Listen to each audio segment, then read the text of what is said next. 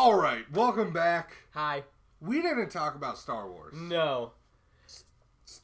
Star Wars? Star Wars, ever heard of it? I don't know what that is. So you were in Florida, Yes. hanging out with the director, Yes. with Rey, And with Finn, Finn. And BB-8 and some new chick, and, Luke. and Luke. So that was pretty cool. So when when you were there, did you see anything cool? I saw the trailer. And a trailer for yeah, this movie? Yeah, there's a trailer. Hey, there's a trailer. So how cool was this? Like, how did it feel? I mean, I was.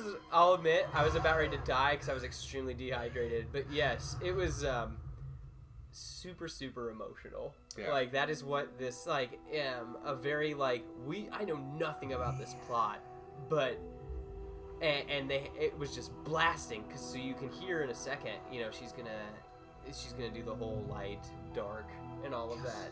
But there's a lot So- layered on that. Yeah, and exactly, you can hear all those layers and everything, and she just looks so cool, and this movie looks beautiful, and look at that, the Man of Steel moment, like that's so sick, and Except just she doesn't have to die. hear Leia, I Yeah. could just, oh man, and then everyone's like, you know, oh Kylo Ren and everything, and I'm hear Vader and Obi Wan, and just. You got some books. I didn't know Star books existed in Star Wars. You got Yoda, and it just explodes in the in the theater when this was happening. When she's swinging that lightsaber and everything, get chills and everything. And just you got the Force theme playing, Right. and oh man, got those walkers and stuff like that. And it, it was wild. I mean, overall, it was awesome. What, what did you think about all of this? So overall, I think this trailer is kind of underwhelming, but I like that it's underwhelming because you know I don't like to know very much at all. Yeah, Uh, What I like about this trailer the most is the choices of color. Watch it again and just look at the, the different colors you see and the emotions that are supposed to come with it. And it's not about giving you plot. It's not about giving you this information of what's going to happen. Why is it the Last Jedi? Hey, you stupid idiot! Snoke called Luke the Last Jedi in the last movie.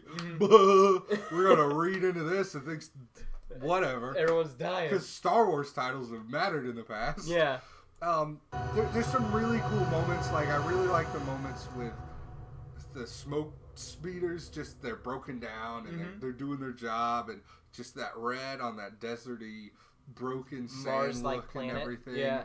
Um, so cool so so stinking cool and i mean i don't know i love the the use of blue and red with her like kylo ren you see that shot and it's just Yeah. it's just red and you've got him just and then you've got her and she's running and you see the blue and everything just Because not to spoil some of my my lightsaber talk, but like that last lightsaber battle where it's blue and it's red, and again I sound like some artsy douche talking about color this whole time, but like it just builds so much more emotion mm-hmm. because you that's that's in your brain now. You might not know it, but when you see the blue on her and she's hope and she's That's light, good. That's in her And- character. and red is bad yes, and it's just and red it- is this rage. and you see the, the the crackling lightsaber hers looks lovely and everything and his is just all broken and terrible And I think that's what sets this movie up really well. Like Mhm. everyone knows I am a Force Awakens lover and like I love that movie to this day. Like I don't see why I, I, I understand the story's been told before. Every story's been told before. But these characters, this That this, cast. this pacing, Yeah. how everyone interacts. Mhm. I am so hyped for this movie. me too and i don't want to know too much I want to know nothing. I, I was gonna say that I'm happy with watching trailers, but I don't want to dig any further than that because I knew about 80% of The Force Awakens before I'd even watched it. I knew and zero.